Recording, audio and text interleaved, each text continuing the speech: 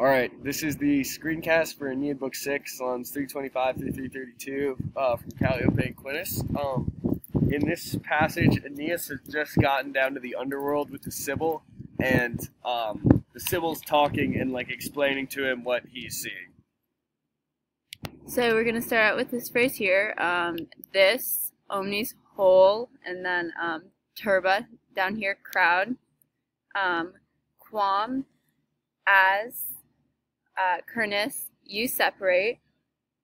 Est um, is inops, weak, um, and que, unburied inhumata. And then we have um, Ille, and then Portitor, which is talking about uh, the chair, uh, like the uh, ferryman, um, is uh, Charon, Charon, however you choose to say it. So that ferryman is um, Charon. And then we have he, those, uh, quos, whom, uh, the wave carries, um, have been buried, sepulti. All right, so um, we got uh, nor is it um, like being allowed uh, to transport um, like from the horrendous shores and uh, sounding river. Um, Prius quam just means before, uh, so before uh, their bones um, like rest in um, like in their seats.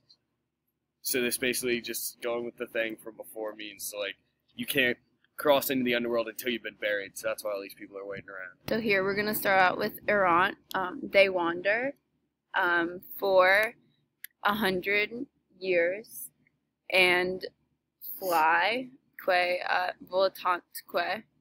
Uh, they fly circum around these shores.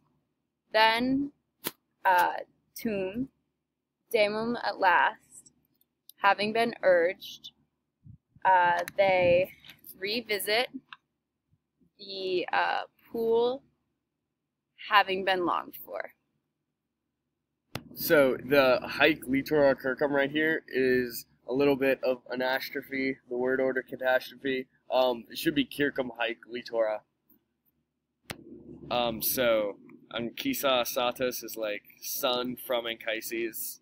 That means like the same thing as like son of Anchises. Um, uh, stopped and pressed um, his steps, uh, thinking much and pitying the unfair fate in his mind. So that's the screencast. Thanks for watching. Bye.